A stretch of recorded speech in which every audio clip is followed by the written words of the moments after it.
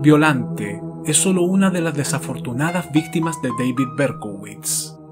Consiguió sobrevivir, pero quedó prácticamente ciego y con graves secuelas motrices después de que el asesino le disparara en pleno rostro con un revólver de alto calibre el 31 de julio de 1977. Su novia, Stacy Moskowitz, con quien se encontraba en el momento del ataque, falleció pocas horas más tarde debido a las graves heridas. Este sería el último crimen cometido por el asesino tras una larga seguidilla de incidentes, en donde podemos contar asaltos con cuchillo, tiroteos e incendios, pues además era pirómano. Al mismo tiempo, se convertiría solo en la punta del iceberg de un caso tan extraordinario que incluso a día de hoy siembra cientos de dudas. Entre 1976 y 1977, la ciudad de Nueva York conoció al que sería probablemente uno de los asesinos más temidos de su historia. Más de 17 millones de personas estaban completamente aterrorizadas por los tiroteos aleatorios que un demente estaba realizando en las calles sin un móvil identificable. La prensa lo había apodado el asesino del calibre 44 debido al arma utilizada en las balaceras, pero este, en una desconcertante carta que dejó a las autoridades, decidió acuñar su propio alias, bautizándose y pasando a la posteridad como el hijo de Sam, un nombre que aún a día de hoy estremece a los neoyorquinos.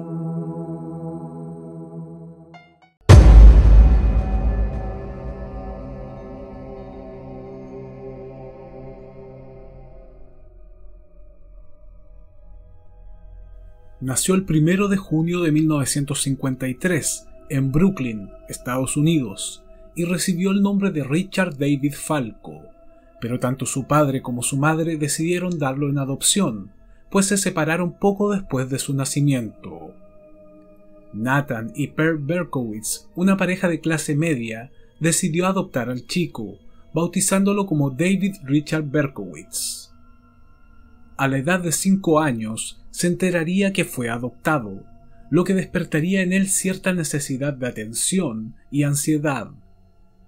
Desde pequeño, David fue un niño sumamente problemático, mentiroso y tímido. Sin embargo, esa timidez, acompañada de fuertes depresiones, se alternaba con arrebatos de violencia y odio hacia los demás. Se frustraba fácilmente y solía encerrarse a oscuras en el armario cuando se enfadaba lo cual ocurría con bastante frecuencia. Poco y nada podían hacer sus padres ante semejante carácter.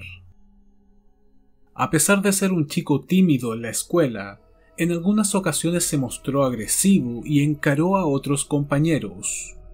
Era de estatura promedio, pero fornido, y si bien tenía fama de ser alguien más bien retraído, con algunas personas podía mostrarse bastante intimidante. Uno de sus ex compañeros de clase explicaría años más tarde el cómo Berkowitz demostró ser un misógino cuando ni siquiera se había convertido en un adolescente. Llegó a crear un club de odiadores de las mujeres, el cual tuvo un par de adeptos que muy posiblemente lo conformaron por llamar la atención. Sin embargo, ese odio en David Berkowitz era muy real Aún así, detrás de ese comportamiento provocador, Iris Gerard, una vecina de David por aquellos años, aseguró que se trataba de un chico atento y simpático. Es probable que estuviese enamorado de ella en secreto, pero era incapaz de confesarlo.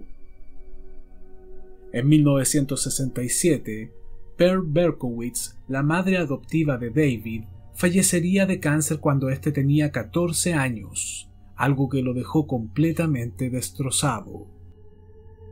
Al mismo tiempo, comienza a sentir un profundo odio por las chicas que lo rechazan.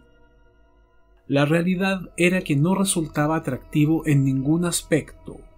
Era desaliñado, monótono, frío y nada interesante, pero él las culpaba a ellas por no tomarlo en cuenta. Sentía envidia de las parejas que veía por los parques y las espiaba mientras se besaban. Las calificaciones de Berkowitz en la escuela eran pésimas, aunque algunos profesores pensaban que podía estar padeciendo de depresión tras la muerte de su madre.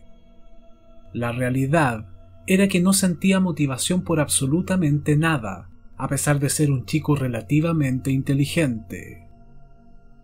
La relación con sus compañeras de clase seguía siendo prácticamente nula, pues se quedaba callado cuando estaba frente a ellas. Las odiaba en silencio, como si fuesen las culpables de su propia ineptitud.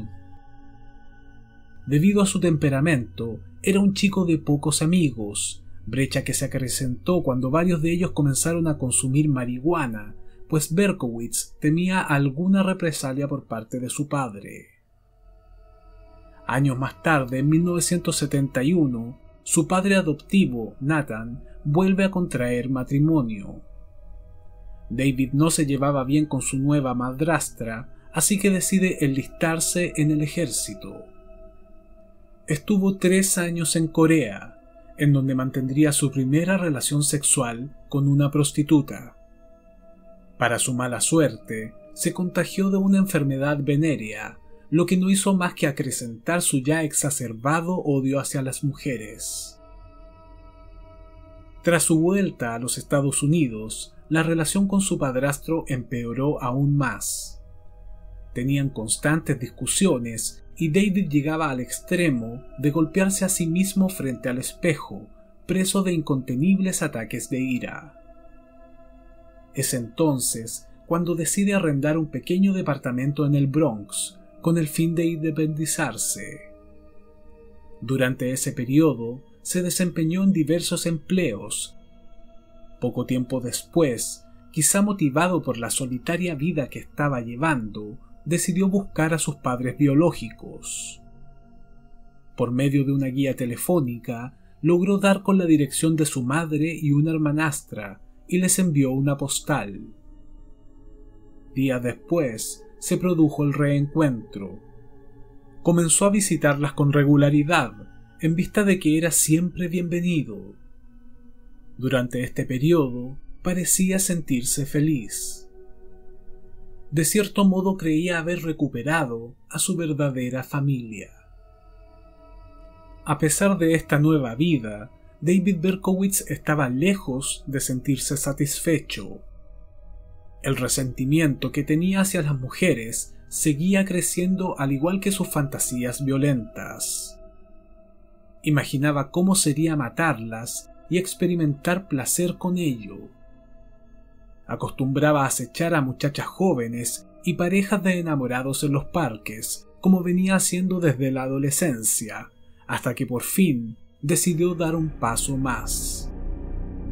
Durante la Nochebuena de 1975, Berkowitz condujo su automóvil hasta un sector oscuro de la ciudad y vio a una solitaria mujer que salía de un supermercado, pasadas las 19 horas.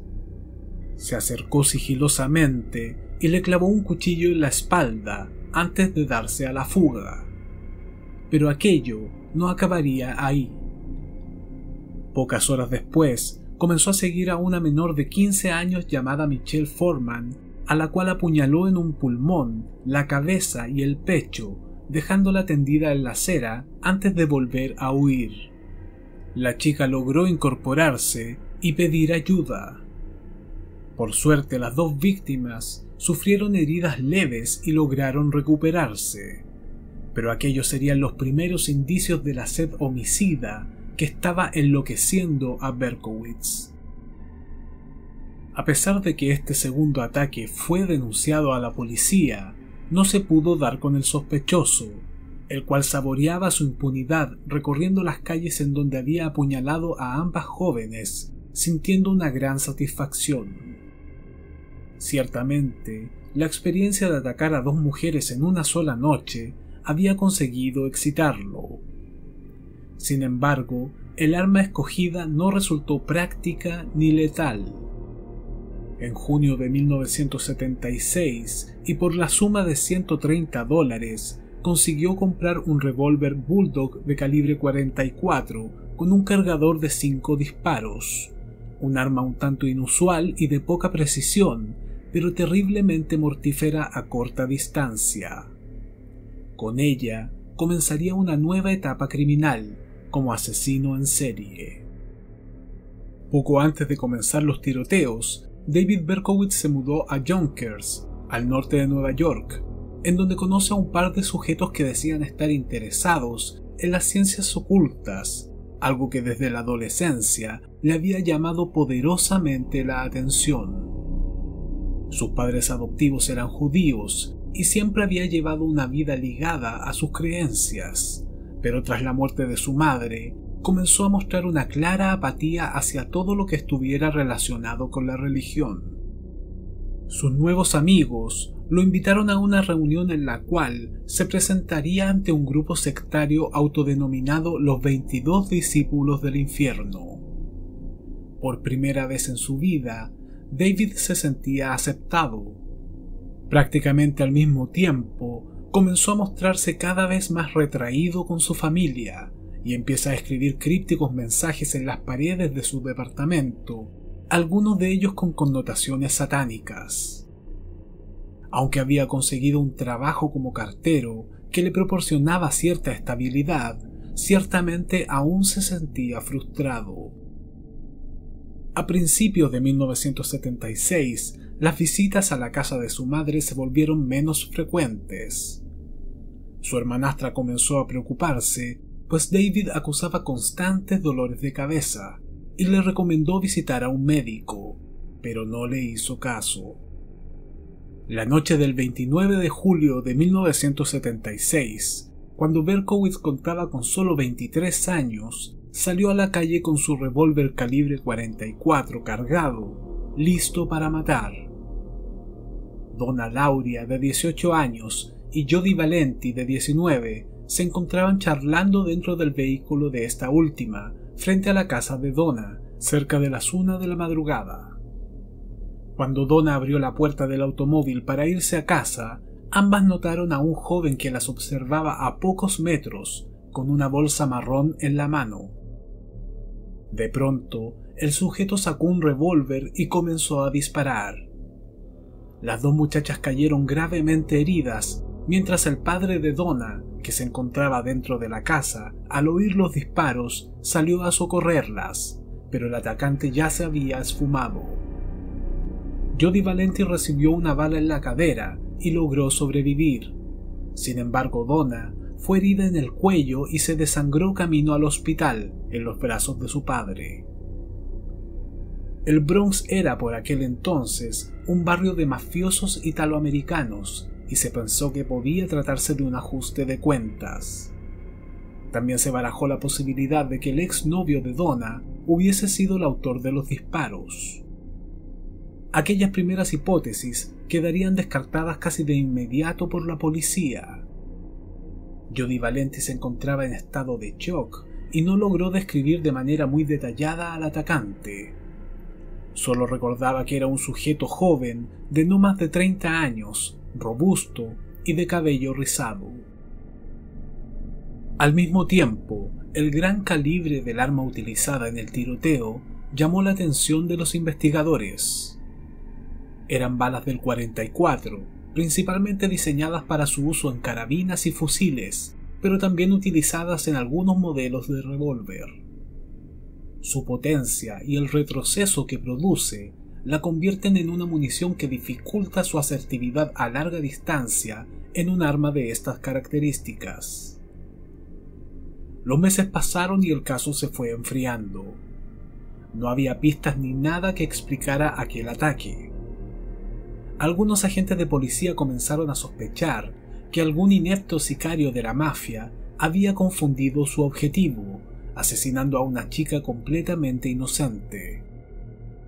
Por su parte, David Berkowitz se sentía extasiado. Había matado a una chica y se encontraba fuera de toda sospecha. Aún así, procuró ser cuidadoso y esperar un tiempo antes de volver a actuar. El 23 de octubre, Rosemary Keenan, de 18 años, y su novio Carl Denaro, de 20, se encontraban en la zona de Queens, un lugar bastante alejado del Bronx en donde se había cometido el primer ataque. Rosemary conducía el vehículo mientras Denaro iba en el asiento del copiloto. Pocos minutos después de haberse detenido en un lugar solitario, Denaro recibió un tiro en la parte posterior del cráneo, a muy poca distancia. El atacante se había acercado por detrás y los había sorprendido mientras conversaban, deserrajando cinco disparos, de los cuales solo uno dio en el blanco. La única bala que recibió Denaro le destapó el cráneo, pero por suerte no le dañó el cerebro. Fue necesario intervenirlo de urgencia e implantarle una placa de metal. El joven había estado a centímetros de la muerte. Lo cierto era que Berkowitz había confundido a Denaro con una mujer, pues éste llevaba el cabello largo en el momento del ataque y en ningún momento lo vio de frente. El asesino se había propuesto eliminar exclusivamente a mujeres jóvenes, y de no ser por esta confusión y el hecho de que erró los otros cuatro tiros, la víctima habría sido sin lugar a dudas Rosemary Keenan. Tras las investigaciones, no se pudo corroborar el móvil del ataque. Los agentes jamás sospecharon que se pudiese tratar del mismo sujeto que mató a Donna Lauria en el incidente del 29 de julio. Un mes más tarde, el 27 de noviembre, un nuevo tiroteo se registró en la zona de Queens. Esta vez, las víctimas eran dos chicas de 18 y 16 años de edad. Joan Lomino y su amiga Donna De Masi fueron baleadas por un sujeto que les preguntaba por una dirección. Ambas lograron sobrevivir, pero Joan quedaría parapléjica tras recibir un disparo en la columna ambas coincidieron en que el atacante era un sujeto rubio y de pelo largo.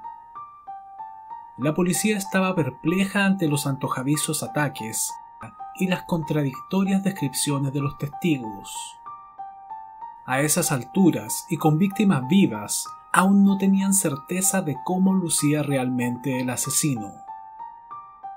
El 29 de enero de 1977, un nuevo asesinato conmovió a la comunidad. John Diel y su prometida Christine Front, de 30 y 26 años respectivamente, fueron sorprendidos por un sujeto que les disparó con un revólver mientras se encontraban dentro de un automóvil. John Diel resultó ileso, pero Christine Front recibió un disparo en la cabeza que le costó la vida. El 3 de marzo, el asesino volvería a atacar, la víctima, Virginia Boskerician, había sido ultimada de un tiro en el rostro a muy corta distancia, mientras conducía su automóvil después de haber asistido a la universidad. Eran las 19.30 horas y un testigo logró ver a un sujeto de aproximadamente 1,80 de estatura que se alejaba corriendo del lugar. También especificó que el sospechoso se cubría el rostro con un pasamontañas. La policía redobló sus esfuerzos e inició un plan llamado Código 44, el cual hacía alusión al asesino que intentaban atrapar. Hasta el momento, poco se sabía de la presencia de este homicida, que cada cierto tiempo salía a la calle pistola en mano para disparar sobre el primero que se le cruzara por el camino. No había dudas de que se trataba de un asesino en serie. Sin embargo, las descripciones del sospechoso otorgadas por los testigos diferían de forma tan notoria que se barajó la posibilidad de que se tratara de varios sujetos armados con un único revólver. Aquello simplemente complicaba aún más el caso. El 10 de marzo de 1977, en el One Police Plaza de Nueva York, el comisario de policía citó a la prensa para dar la noticia de que un asesino en serie estaba suelto en la ciudad. Aunque varios agentes hubiesen preferido mantener la investigación en secreto, resultaba imperioso poner en alerta a la ciudadanía, pues todo el mundo corría peligro. Tras aquel comunicado de prensa, toda la nación se paralizó por el terror. Los titulares del día 11 de marzo resultaron alarmantes. El nombre del asesino del calibre 44 apareció en todas las portadas y tanto en radio como en televisión se comunicó que el FBI estaba tras la pista de un escurridizo y peligroso asesino serial que atacaba sin previo aviso. Se describió al sospechoso como un sujeto de aproximadamente 1,80 de altura, de raza blanca, complexión normal y cabello oscuro. Aquella descripción, sin embargo, despertaba dudas entre los mismos agentes, pero se optó por revelar esta información en vista del gran revuelo que causó el caso en la ciudadanía. Las mujeres comenzaron a teñirse el cabello rubio o simplemente se lo cortaban, asustadas por encajar en el perfil de víctimas del asesino. Las calles de Nueva York parecían un desierto cuando se acercaba la noche. Todos se encerraban en sus casas aterrados por la presencia del asesino del calibre 44. Por su parte, David Berkowitz estaba fascinado. Casi no podía creer toda la conmoción que causaron sus cobardes ataques. Aquello que había comenzado como una simple fantasía iracunda se había convertido en algo mucho más grande. Más allá de los asesinatos, se estaba volviendo famoso Incluso tenía un apodo, otorgado por los medios de comunicación, que resultaba ciertamente intimidante. Toda esa publicidad no haría otra cosa que entusiasmarlo aún más. El 16 de abril de ese mismo año, cerca de las 3 de la mañana, una joven pareja que se encontraba aparcada en la zona del Bronx fue baleada en el interior de su vehículo. David Isou y Valentina Surinay fueron encontrados con dos balas en la cabeza cada uno. Valentina había fallecido instantáneamente, pero su novio se encontraba aún con vida cuando fueron hallados por la policía. Lamentablemente David solo sobrevivió un par de horas tras llegar al hospital. En el lugar del tiroteo se encontró una carta dejada por el asesino. Aquello sobrecogió a los agentes de policía quienes comprendieron que la situación seguiría empeorando, pues por lo visto se enfrentaban a un verdadero loco. Parte de la carta decía lo siguiente. Policías, déjenme que los acose con las siguientes palabras. Volveré, volveré. Esto debe ser interpretado como un bang, bang, bang, bang, bang, uh. La misiva, firmada por un tal Mr. Monster, estaba dirigida al jefe de policía a cargo del caso. Aseguraba que seguiría matando, aunque a esas alturas nadie suponía lo contrario. La policía procuró ocultar la carta, pero un periodista consiguió verla y publicó algunos fragmentos en una columna del Daily News. Aquello solo consiguió asustar aún más a la población. El 30 de mayo, el asesino envió una carta directamente al Daily News, específicamente al columnista Jimmy Breslin, la cual fue publicada durante los días siguientes. En ella enumeró varios nombres que en teoría ayudarían a la investigación policial. El Duque de la Muerte, el Rey Malvado, los 22 discípulos del infierno y John Widis, violador y sofocador de niñas jóvenes. Aquella carta despertó muchas dudas en los investigadores, quienes comenzaron a creer que el asesino solo estaba jugando con ellos, enviando mensajes crípticos y sin sentido, con el único fin de confundirlos. Por último, dejaba claro su nuevo y definitivo apodo, pues venía firmada. Desde ahora se le conocería como el hijo de Sam. Parte de la nota decía lo siguiente. Sam es un chico sediento y no permitirá que deje de matar hasta que sacie su sed de sangre. Señor Breslin, no crea que porque lleva un tiempo sin oír de mí me he echado a dormir. No, al contrario, sigo aquí, como un espíritu que vaga por la noche. Sediento, hambriento, apenas si me detengo a descansar, ansioso de complacer a Sam. Me encanta mi trabajo. El 25 de junio, Judy Plácido, de 17 años, y un joven llamado Salvatore Lupo fueron atacados por el asesino, el cual los valió mientras se encontraban en el interior de su vehículo. Afortunadamente, ambos salieron con vida del tiroteo. Un testigo aseguró haber visto a un hombre alto y regordete salir corriendo por un callejón cerca del lugar de los hechos. Al día siguiente, la noticia se encontraba en la primera plana de todos los periódicos del país. El hijo de Sam se había convertido en el enemigo número uno de los Estados Unidos, y cientos de policías se unieron a la búsqueda del desquiciado homicida.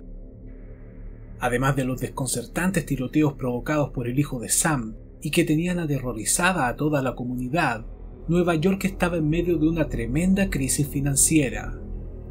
Sumado a esto, una severa ola de calor hacía que toda la situación fuese aún más insoportable. El 13 de julio, sin embargo, todo se salió de control. Conocido como el Gran Apagón de 1977, la ciudad de Nueva York se quedó completamente a oscuras debido a un corte del suministro eléctrico que acarreó graves consecuencias. Miles de familias se encerraron en sus casas aterradas, temiendo ser la próxima víctima del hijo de Sam. Sin embargo, al mismo tiempo, miles de personas salieron a las calles para saquear negocios y cometer todo tipo de vandalismo. Los saqueos afectaron a unas 1.600 tiendas, se registraron más de 1.000 incendios 550 policías fueron heridos en diversos enfrentamientos y se arrestaron a unas 4.500 personas involucradas en los incidentes, los cuales incluso continuaron el 14 de julio a plena luz del día. Se estimó que el costo de los daños tras el gran apagón superaba los 300 millones de dólares. Así, con la moral abatida, los neoyorquinos fueron testigos pocas semanas más tarde de un nuevo tiroteo. El 31 de julio de 1977, Stacy Moskowitz, de 20 años, y su acompañante Robert Violante se encontraban aparcados en una zona oscura y solitaria, a la cual solían acudir parejas durante la noche. Eran las 2.35 de la madrugada cuando fueron acribillados dentro de su vehículo. Durante el tiroteo, otra pareja se encontraba muy cerca del lugar, y tras llamar a la policía, declararían que el atacante era un hombre blanco, de pelo largo y rubio.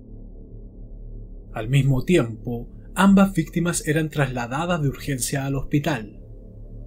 Moscovitz fallecería 38 horas después, mientras que Robert Violante sobrevivió por poco, aunque quedó casi completamente ciego, pues el asesino le había disparado a la altura de los ojos. Sin embargo, la policía contaría con más pistas de las que esperaba en este último ataque. Varias personas habían visto al asesino. Otra pareja que se encontraba cerca de un parque escucharon disparos y minutos después vieron a un hombre de contextura maciza y con cabello rubio y largo salir corriendo y montarse en un Volkswagen amarillo antes de salir a toda velocidad por la calle.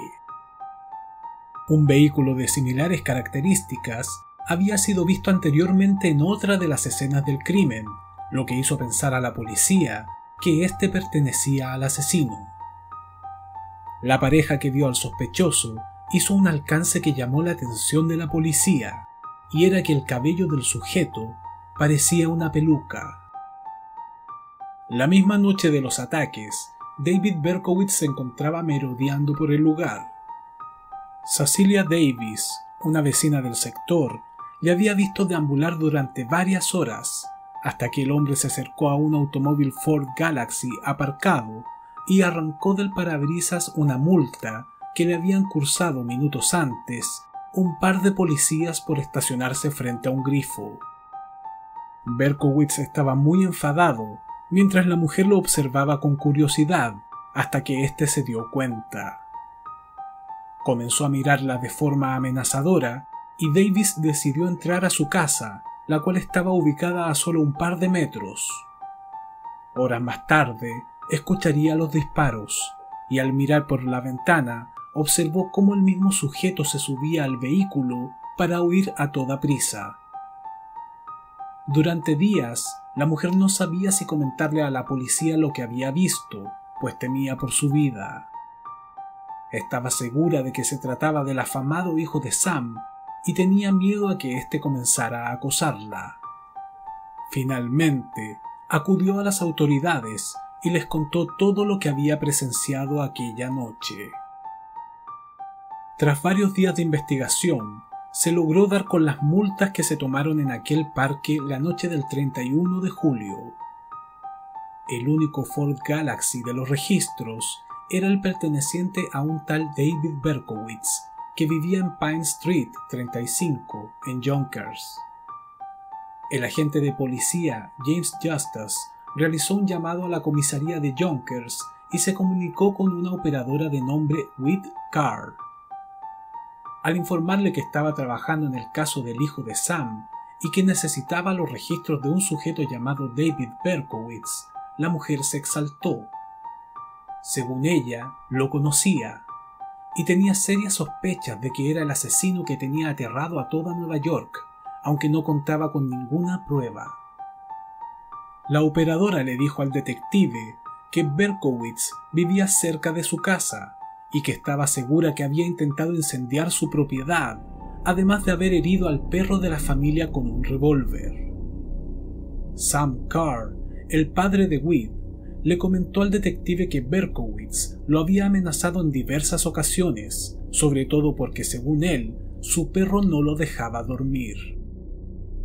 El detective James Justus comenzó a indagar en el vecindario y encontró varias historias similares con respecto al extraño sujeto. Algunos vecinos de la zona estaban seguros de que él era el responsable de varios amagos de incendio cometidos en sus viviendas. Otro propietario del sector le dijo al detective que alguien asesinó a uno de sus perros de un tiro y que además había recibido varias cartas de amenaza poco antes del incidente. Berkowitz resultó ser un vecino sumamente conflictivo, el cual discutía constantemente con la gente del barrio, acusándola de formar parte de un grupo mágico que solo buscaba perjudicarle. Cuando los especialistas y grafólogos tuvieron acceso a las cartas de amenaza, notaron que la letra era idéntica a las misivas enviadas por el hijo de Sam. David Berkowitz se transformó inmediatamente en el principal sospechoso. El 10 de agosto de 1977, los detectives Ed Ligo y John Longo fueron enviados a comprobar la identidad de Berkowitz. Al acercarse al edificio en donde vivía, los agentes reconocieron el Ford Galaxy del sospechoso, que estaba estacionado a plena vista.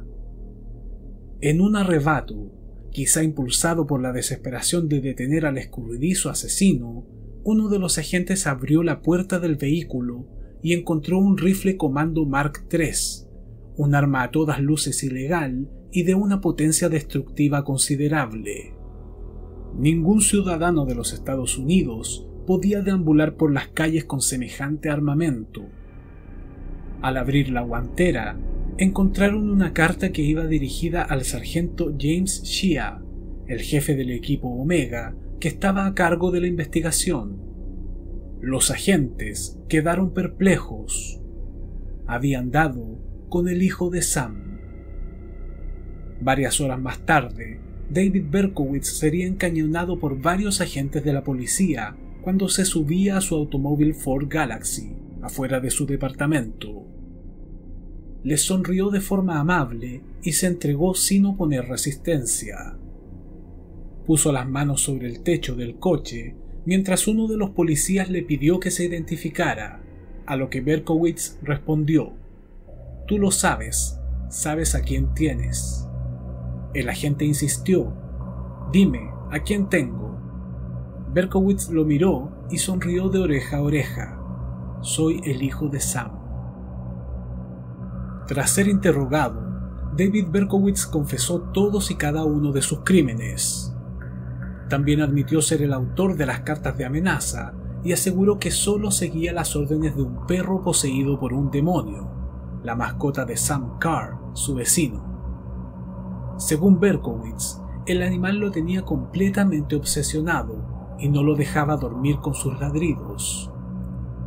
Poco después, comprendió que se estaba comunicando con él telepáticamente y le ordenaba salir a la calle a matar mujeres. David había descargado su revólver sobre aquel perro después de mandarle una carta de amenaza a Sam Carr, pero el animal había sobrevivido. También admitió haber cometido 1488 incendios, pues además era un pirómano. Su carrera como maníaco incendiario había comenzado en 1974, dos años antes de convertirse en un asesino serial. Las autoridades parecían aliviadas tras la detención del criminal. La pesadilla había durado un año, dejando la cifra de seis muertos y siete heridos. Cuando el temido hijo de Sam apareció por primera vez ante las cámaras de televisión tras su captura, todo el mundo quedó conmocionado. Berkowitz era un sujeto regordete, desaliñado y de mirada inocentona distaba mucho de la imagen monstruosa que le había dado la prensa. Sin embargo, sonreía mientras le tomaban fotografías. Estaba disfrutando de sus minutos de fama y se sentía orgulloso. Cuando la policía allanó su departamento, descubrieron que vivía en un verdadero chiquero. En las murallas había cientos de escritos de connotación satánica, cruces invertidas, pentagramas y otras incoherencias. Al lado de un boquete que había en la pared, se encontró el siguiente graffiti. Hola, soy el señor Williams y vivo en este agujero. Tengo muchos hijos que estoy convirtiendo en asesinos. Esperen a que estos crezcan. Todas las evidencias, sumada a los asesinatos desorganizados y las declaraciones incoherentes, apuntaban a que el acusado posiblemente era un enfermo mental aunque algunos tenían serias dudas. Los exámenes psiquiátricos dictaminaron que David Berkowitz padecía de esquizofrenia paranoide, pero que aún así se encontraba apto para enfrentar un juicio. De hecho, más de algún especialista sospechó que podía estar fingiendo locura para evitar ser enviado a la cárcel y terminar en un centro psiquiátrico. Los noticiarios no paraban de hablar sobre el caso del hijo de Sam, y fue primera plana durante varias semanas, mientras que diversas manifestaciones exigían que fuera puesto tras las rejas de una buena vez.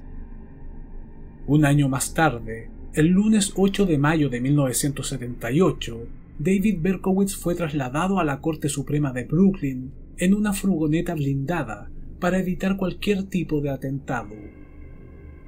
Una vez iniciado el juicio, Berkowitz se comportó como un verdadero desquiciado, profiriendo amenazas, burlándose de los padres de Stacy Moskowitz, llamándola puta en repetidas ocasiones, e incluso provocó un alboroto al intentar saltar desde una ventana de la sala de tribunales, ubicada en el séptimo piso. Finalmente, se declaró culpable de todos los cargos y fue condenado a 365 años de cárcel. Pero la historia no acabaría ahí. La enorme fascinación que trajo este caso no podía ser acallada. Varios de los testigos insistían en que Berkowitz no era el sujeto que vieron huyendo de las escenas de los crímenes. Aún no se explicaba la presencia del hombre rubio y de cabello largo que también fue visto en algunos de los tiroteos, ni tampoco el misterioso Volkswagen amarillo. ¿Existía la posibilidad de que Berkowitz contase con un cómplice? Por su parte, el condenado aseguró que había actuado solo. Lo que no se explica es por qué en alguno de sus ataques se mostró como un asesino preciso y letal, mientras que en otros resultó ser más bien inepto, fallando casi todos los disparos varios aspectos oscuros comenzaron a aflorar en el caso. Uno de ellos fue el hecho de que Berkowitz aseguró que jamás había conocido en persona a su vecino, Sam Carr. Aquello resultó sumamente extraño, sobre todo si tomamos en cuenta que supuestamente lo había amenazado por los ladridos que daba su perro por las noches, además de tomar su nombre para crear su distintivo apodo. Sam Carr, a su vez, reconoció que él tampoco había visto en persona a Berkowitz y que solo se enteró de su existencia cuando su vecino le había mostrado otra carta de amenaza, en donde también decía que mataría a su perro. Poco después, la mascota de este vecino fue encontrada muerta. Sam Carr recibió una carta similar, la cual decía Si no haces callar a ese perro, me veré la obligación de matarlo. Poco después, el pastor alemán de Sam Carr fue baleado. Aquella misma carta sería comparada con varias de las misivas que Berkowitz envió tanto a la policía como a la prensa y que terminarían por incriminarlo. El hecho de hacerse llamar el hijo de Sam significaba que de alguna forma Berkowitz estaba obsesionado con su vecino. Lo que parece extraño es que jamás lo conoció en persona, ni siquiera lo había visto a lo lejos. ¿Qué sentido tenía todo aquello? ¿Eran solo los delirios de un esquizofrénico o acaso había algo más tras los crípticos mensajes del asesino? El periodista llamado Maury Terry, quien siguió el caso tras el encarcelamiento de Berkowitz, encontró un cúmulo de evidencias que lo hicieron dudar de que éste fuese el único responsable de los asesinatos.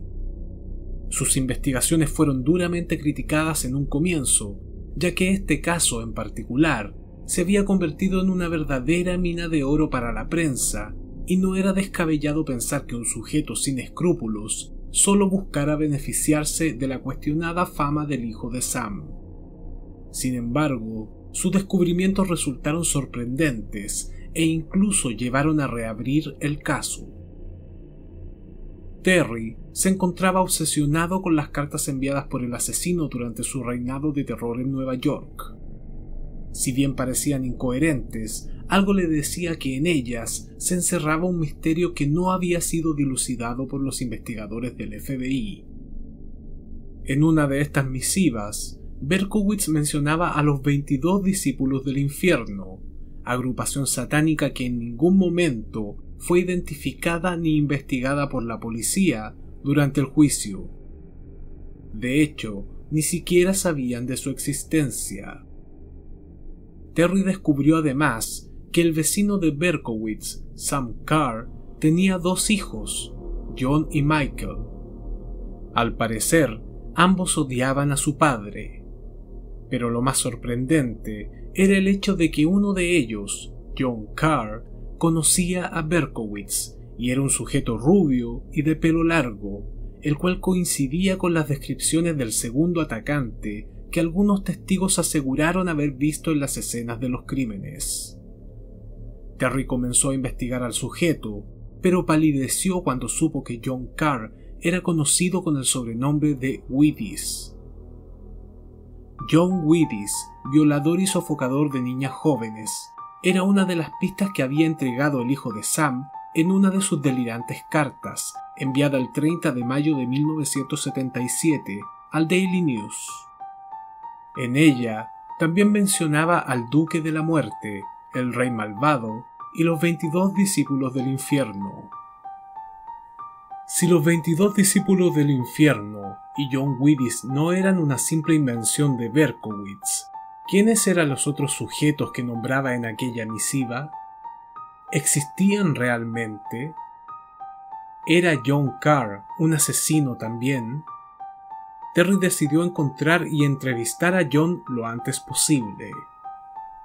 Mientras intentaba ubicar a su sospechoso, Terry se enteró que en Nueva York durante los ataques atribuidos al hijo de Sam, más de 80 perros fueron hallados despellejados en las afueras de Walden, a una hora de Yonkers, donde vivía el asesino.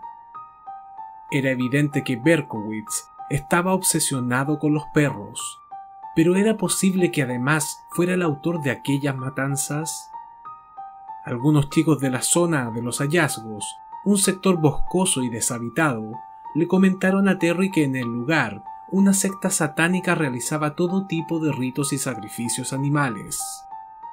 El nombre de los 22 discípulos del infierno volvía a salir a la palestra, desconcertando al joven periodista.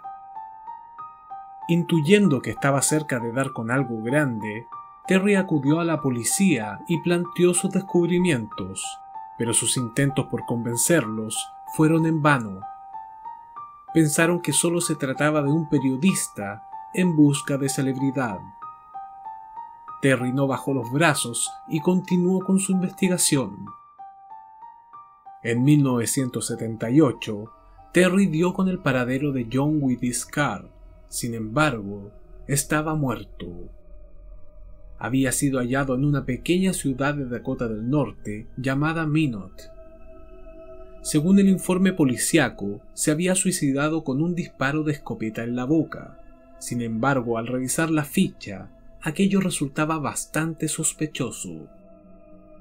Algunos policías le comentaron a Terry que aquel suicidio parecía en realidad un asesinato. Cerca del cuerpo de Carr se encontraron unas iniciales escritas con sangre que rezaban SSNIC. Un sujeto que se quita la vida con una escopeta difícilmente podría escribir algo con su propia sangre.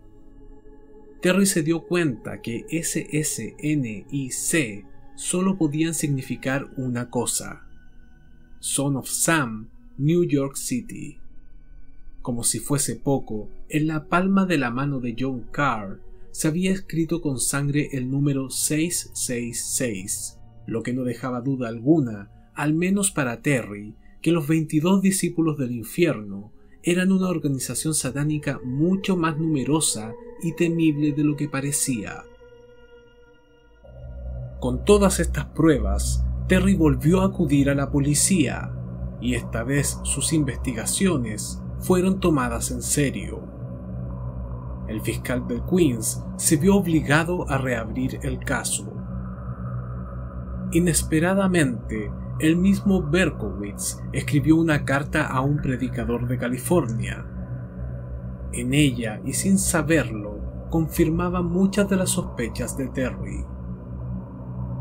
En realidad, no sé cómo empezar esta carta, pero hubo un tiempo en que fui miembro de una secta secreta. Prometí mantener el secreto o enfrentarme a la muerte y por ello no puedo dar su nombre. Esta secta se componía de una mezcla de prácticas satánicas que incluían las enseñanzas de Aleister Crowley y Eliphas Levi. Sus pretensiones eran, y lo son aún hoy, sanguinarias esa gente no se detendrá ante nada, incluido el asesinato. Maury Terry, por su parte, dio con el paradero del hermano de John, Michael Carr, pero nuevamente se encontró con un cadáver.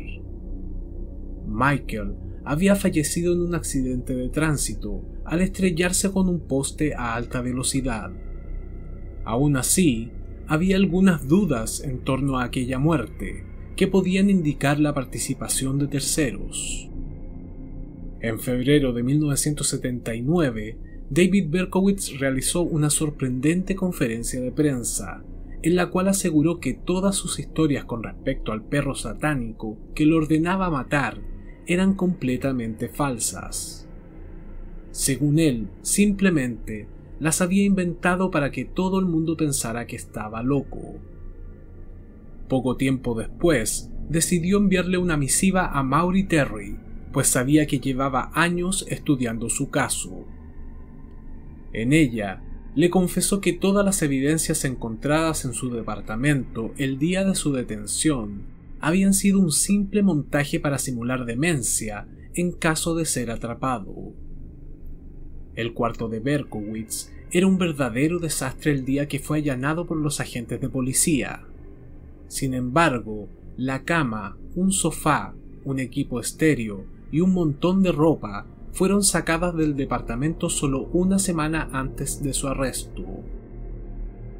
Todos aquellos símbolos satánicos y el hoyo en la pared también fueron realizados en ese mismo periodo de tiempo. Berkowitz dio los nombres y valores de la compañía que arrendó la camioneta para dicha operación, y Terry confirmó que los precios eran los que señalaba el acusado. En otra carta, David Berkowitz le contó a Terry que en una ocasión intentó obtener empleo en una perrera, pues según sus propias palabras, alguien necesitaba perros. Creo que comprende lo que intento decir. De inmediato, Terry recordó los más de 80 canes sacrificados en las afueras de la ciudad de Walden, Nueva York. Tras un par de entrevistas, el periodista corroboró la veracidad de las declaraciones de Berkowitz. En otro mensaje enviado a Maury Terry, Berkowitz le pidió lo siguiente. Llame a la oficina del sheriff de Santa Clara, en California. Por favor, pregunte al sheriff qué le ocurrió a Arlis Perry. El 13 de octubre de 1974 se había denunciado el hallazgo de un cadáver en la iglesia de la Universidad de Stanford.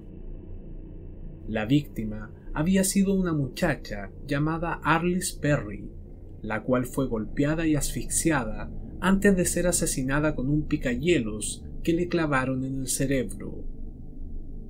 Los detalles que Berkowitz le entregó a Terry acerca de este crimen nunca aparecieron en la prensa y solo los conocían agentes que estaban involucrados en el caso. Definitivamente, David Berkowitz sabía mucho más de lo que se pensaba. Terry, además, parecía haber encontrado vínculos entre los 22 discípulos del infierno y el mismísimo Charles Manson.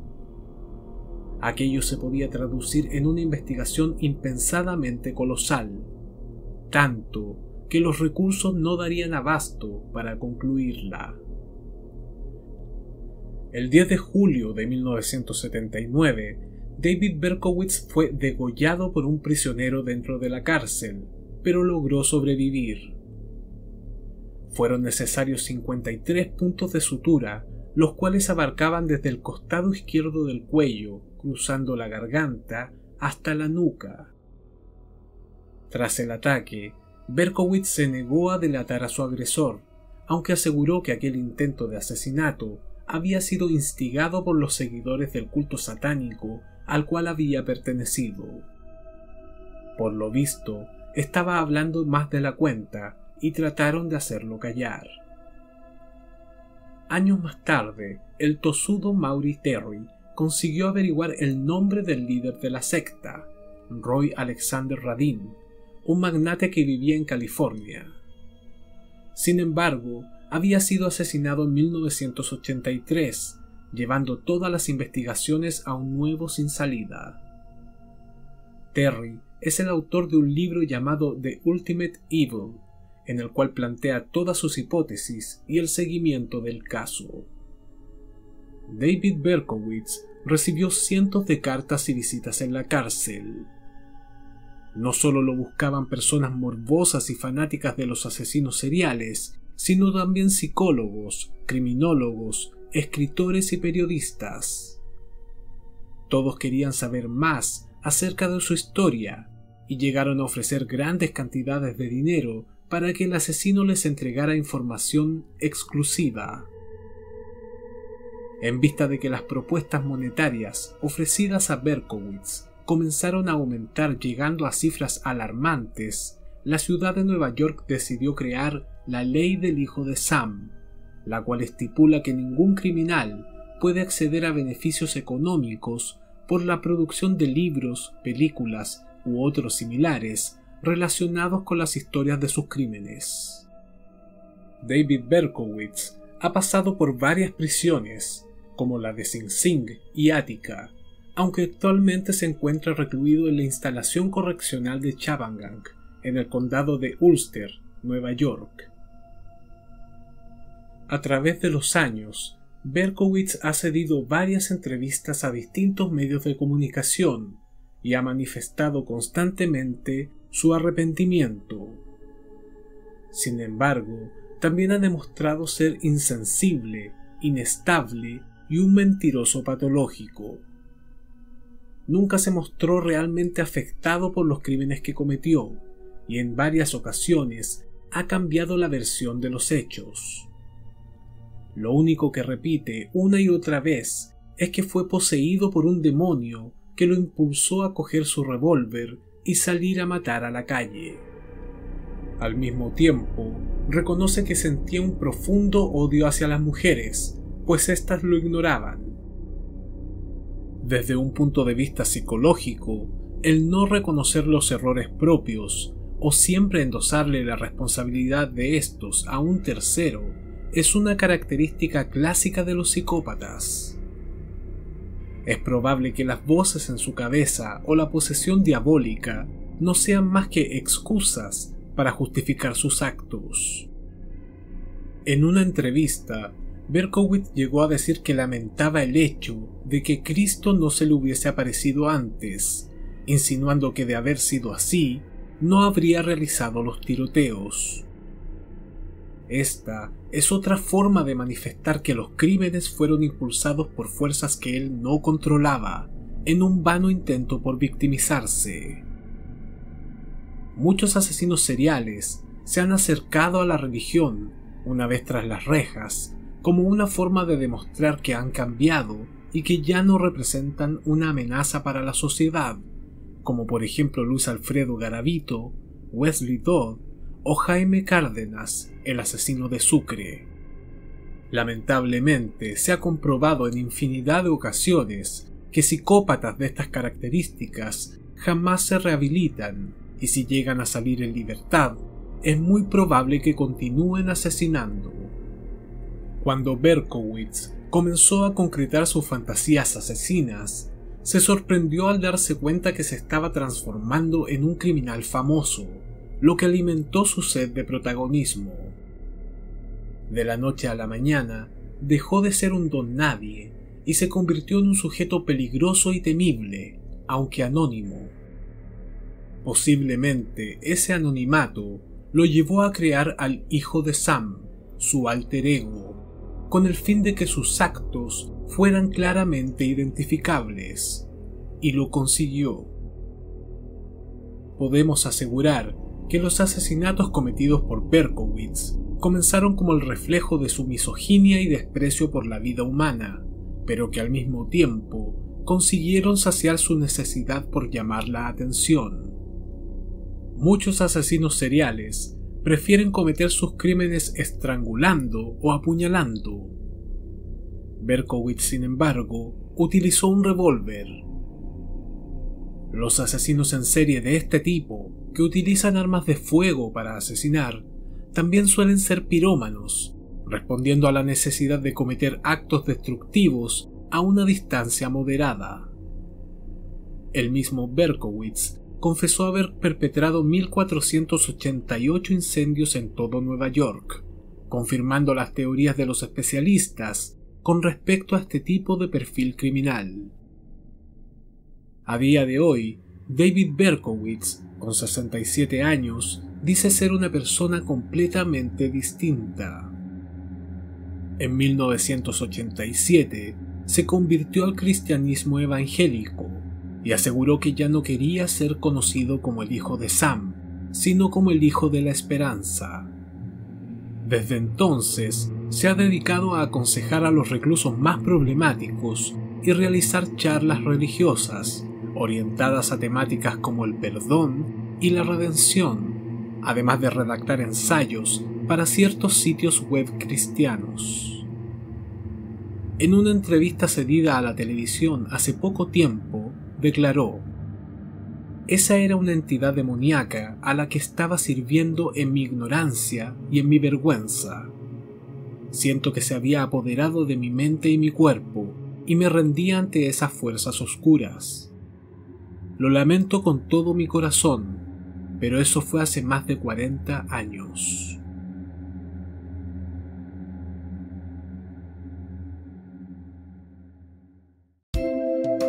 Si este video te gustó, dale like, suscríbete y compártelo en tus redes sociales.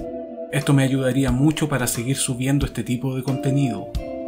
Recuerda hacer clic en la campanita para recibir un mensaje cada vez que suba un nuevo video. En la descripción te dejo el link a mi blog sobre criminología y también el link para comprar mi libro Monstruos Humanos, un tomo de 430 páginas en donde ahondo en el tema de los asesinos seriales. Mi nombre es Álvaro y este es el canal del crimen.